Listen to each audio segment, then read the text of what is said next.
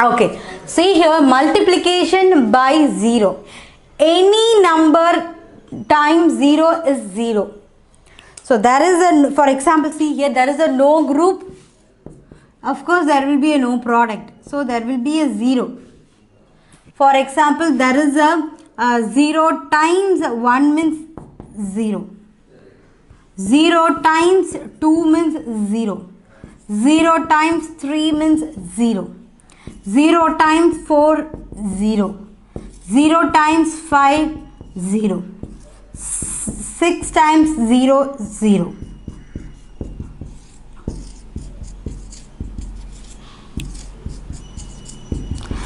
so any number that multiply by 0 the answer will be 0 see here vice versa i am just saying 2 into 0 0 3 into 0 0 4 into 0 0 5 into 0 0 6 into 0 0 see here that any number that you multiply by 0 then you will be have a 0 see here 0 aquarium with the 0 fish there will be a 0 as a result.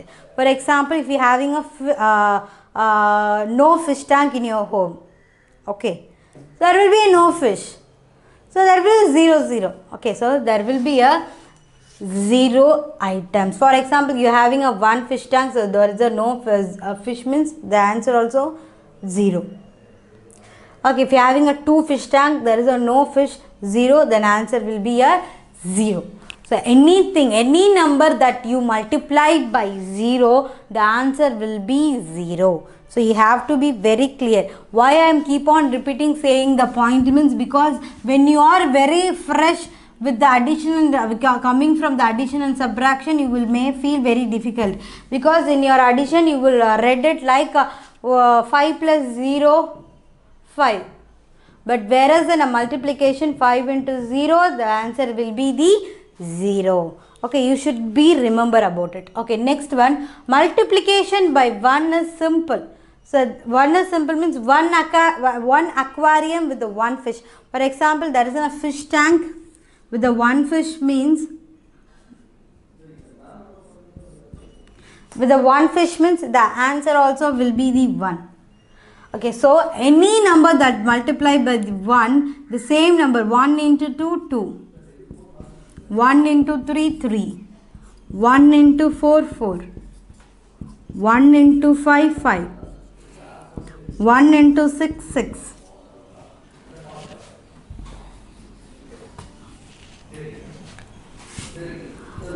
1 into 7 7 1 into 8 8 1 into 9 9 1 into 10 10 so any number that multiply by 1 the same number will be the answer. 1 into 2 means 2 1 into 3 means 3 the vice versa 2 into 1 is 2 3 into 1 3 4 into 1 4 the vice versa also same number. So any number that multiply by 0 the answer also will be the 0 any number that multiply by 1 the number the number will be the same. If you are uh, multiply 2 with 1 the answer will be 2 if you multiply 1 with the 2 the answer will be the 2 okay that uh, this is the answer.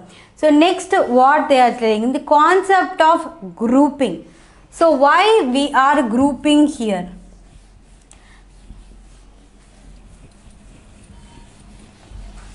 Okay so concept of grouping means that is explaining the need of grouping. See here in the before example sir i have just grouped the the in one group i having a four each uh, each group there are three groups. In a three each groups they are having a four dogs. So the concept of grouping is uh, what means see here there is an um, uh, like uh, some balls or some beads. In a one thread they are uh, how many beads are there? 1 2 3 4 5 6 7, 8, 9, 10, 11, 12, 13, 14, 15. So 15. I have taken some min time time. If you are having a, instead of counting like this,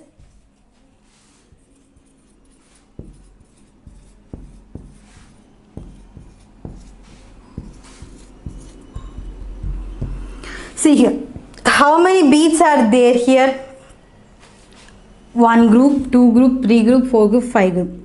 5 into 3, 15.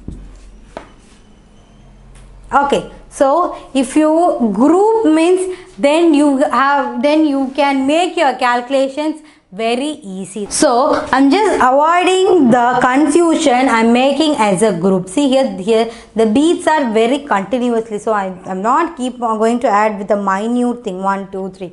So this is very easy. See here how many groups are there? One, two, three, four, five. So five groups are there. In, each group, how many beads are there? Three beads are there. So five into three is 15. Okay. Then also telling how many threes in a five how many threes in a 5 so how many threes in a 5 in 5 how many threes are there 3 6 which is i'm drawing and all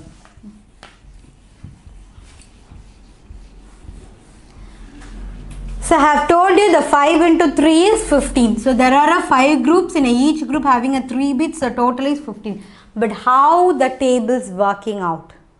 we want to be very clear about it isn't it so i'm just simply saying 2 into 2 4 5 into 3 15 means okay want to memorize is of course you want to memorize but behind this process there's there is a exact process going it's not like a simply you're memorizing actual process is going see they are explaining with the hands. So just uh, roughly i'm just drawing. See here in a five i'm just taking a five finger. One two three four five fingers. So in a five how many threes are there just i'm saying this is a three then six seven eight nine ten eleven twelve thirteen fourteen fifteen. So If I have a, how many how many 3's in my 5 means 3, 6, 9, 12 and 5. I'm just adding 3, 3, 3. I'm just adding 3, 3, 3. So totally I'm having a 15, 3. So that is what the tables con, con, no, conveying us.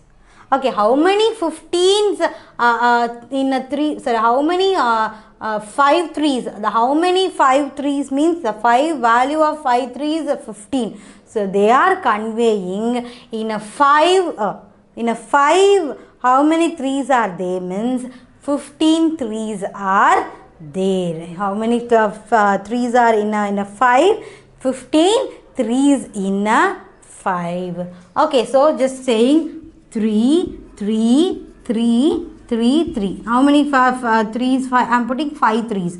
So 5 threes is equal to 15 so instead of repeating this uh, addition, I am just putting a multiplication as a very easiest to form. Okay, so this is what telling.